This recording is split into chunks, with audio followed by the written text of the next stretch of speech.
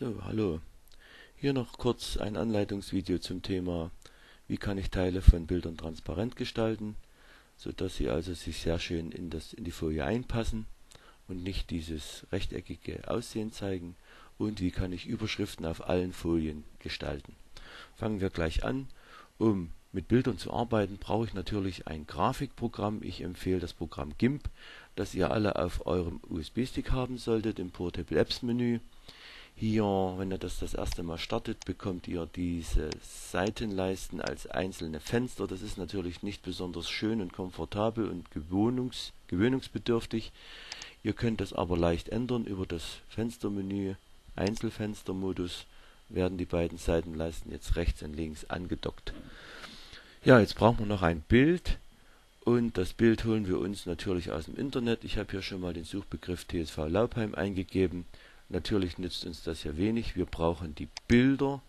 Da haben wir ein schönes Logo vom TSV. Und Achtung, jetzt nicht dieses Bild einfach rechte Maustaste kopieren, sondern erstmal auf die Webseite gehen. Da haben wir es größer. Jetzt rechte Maustaste das Bild in die Zwischenablage kopieren über das Kontextmenü. Jetzt wechseln wir zu unserem Grafikprogramm. Hier können wir das Bild über Datei Erstellen aus Zwischenablage in die Bildbearbeitung holen. Als erstes wählen wir das rechteckig markieren Menü, äh, Werkzeug aus. So, das kann man noch, noch verändern. Also wir sollten das nicht zu weit, aber auch nicht zu knapp auswählen. Und dann können wir im Bildmenü das Bild auf, die, auf den ausgewählten Bereich zuschneiden. Fertig. So, jetzt müssen wir noch das Weiß wegkriegen. Dazu brauchen wir den Zauberstab, der markiert einen zusammenhängenden Bereich ähnlicher Farben. Hier können wir noch den Schwellwert festlegen. Wenn wir den zu hoch nehmen, wird einfach zu viel von dem Bild. Hier sehen Sie, werden, auch, würden dann auch diese weißen Ränder transparent. Das wollen wir ja nicht. Wir möchten nur den Bereich außenrum. So. Ja, jetzt müssen wir noch schauen, ist das Bild für die Arbeit mit Transparenz vorbereitet. Das machen wir bei den Ebenen. Transparenz. Aha, es gibt schon einen Alpha-Kanal, wir müssen ihn nicht hinzufügen. In ihm werden nämlich die Transparenzeigenschaften gespeichert. Also das können wir uns hier an dieser Stelle sparen, sonst müssen wir hier aufpassen, das muss ein Alpha-Kanal existieren. So, jetzt haben wir ja diesen Bereich des Bildes markiert. Mit der Entfernen-Taste können wir das markierte Teil, den markierten Teil des Bildes löschen. Wir sehen jetzt durch die transparente Bild auf den Hintergrund. Das zeigt uns also deutlich, an diesen Stellen ist das Bild jetzt transparent. So, ja, jetzt müssen wir das Bild noch speichern. Dazu Wählen wir hier nicht das Speichern, dann würden wir es in GIMP-Format speichern, sondern wir wählen den Menüpunkt Exportieren. Ihr seht, ich habe es hier schon mal ausprobiert gehabt.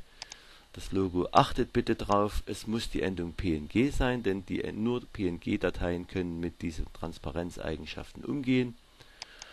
Und ich nenne das jetzt einfach mal Logo TSV1, speichere das auf meinen Desktop, exportiere das auf meinen Desktop kann ich hier noch ein paar Einstellungen, muss ich jetzt nicht weiter beachten.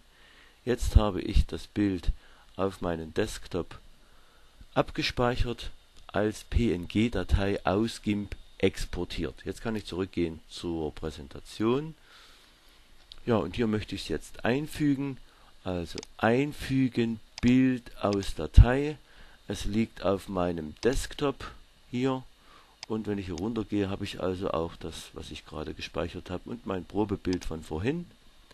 Dann öffne ich das hier und wir sehen, es ist also sehr schön transparent geworden und man kann mit diesem Logo auch sehr gut arbeiten. Ja? Zum Beispiel, indem man es also an entsprechender Stelle platziert. So viel zum Thema transparent machen von Bildern. Das funktioniert natürlich mit allen Bildern. Beachtet die Einzelschritte Schaut sie euch nochmal in Ruhe an, übt das ein wenig und dann werdet ihr sehr viel Freude daran haben, Bilder für eure Präsentation maßgerecht zurechtzulegen. Kommen wir nach fünf Minuten jetzt nach zum, noch zum zweiten Thema schnell, nämlich Überschriften in allen Folien gestalten. Überschriften in allen Folien gestalten, aufgepasst. Dazu brauchen wir hier die Formatvorlagen, denn solche Überschriften werden nach einer bestimmten Schablone dargestellt. Die Schablone nennt man Vorlage. Hier haben wir die Möglichkeit, die Formatvorlagen uns anzeigen zu lassen und aufgepasst, diese Titelformatvorlage stimmt jetzt nicht für unsere Folie. Das sind die Standardvorlagen, die also für alle Folien einfach übernommen werden könnten. In unserer Folie wurden also spezielle Präsentationsvorlagen verwendet. Dieser Titel hier diese Titelvorlage ist also die Vorlage, nach der unsere Titel hier gestaltet werden. Rechte Maustaste ändern. Hier können wir jetzt eine Schriftart auswählen. Nehmen wir Comic Sans, das ist auf den meisten Computern drauf. Viele der Schriften sind auf vielen anderen Computern gar nicht enthalten. Ihr könnt also nur Schriften verwenden, die auf dem Computer installiert sind. Dann setze ich das nach Fett. Mit OK schließe ich das ab. Wir sehen jetzt hier, die Folie hat die entsprechende Schriftart angenommen. Der Folientitel hat die entsprechende Schriftart angenommen und das auf allen Folien. So, das war's schon. Ich wünsche euch viel Spaß bei der weiteren Gestaltung eurer Folien und damit schließe ich dann dieses Video.